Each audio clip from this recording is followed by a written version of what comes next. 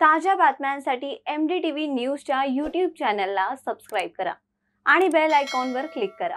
केवळ रस्ते खराब म्हणून सार्वजनिक बांधकाम विभाग टार्गेट केला जातो परंतु अनेक ओव्हरलोड वाहने धावतात तेव्हा काय घडतं? महाराष्ट्रच नव्हे तर महाराष्ट्राच्या अंतर्गत असणाऱ्या नंदुरबार जिल्ह्याचा विचार करता तीच व्यवस्था रस्त्यांची. अनेक वेळा रस्त्यांवर असलेल्या खड्ड्यांबाबत बातम्या लावल्या जातात.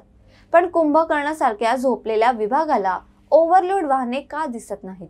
जाणून बुजून डोळ्यावर बांधलेली पट्टी कधी काढणार? कारण वाहन चालकांकडून मिळणाऱ्या मलिदा कसा सुटेल?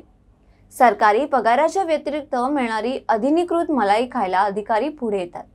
रस्ते खराब म्हणून सार्वजनिक बांधकाम विभागाला टार्गेट केलं जातं. हे कितपत योग्य आहे?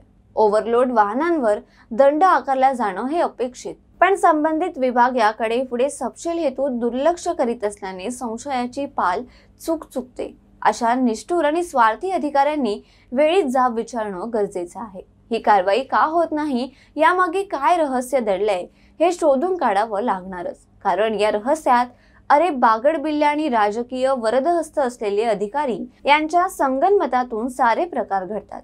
पावती फाडण्याऐवजी वाहन चालकांकडून अतिरिक्त पैशाची मागणी होते.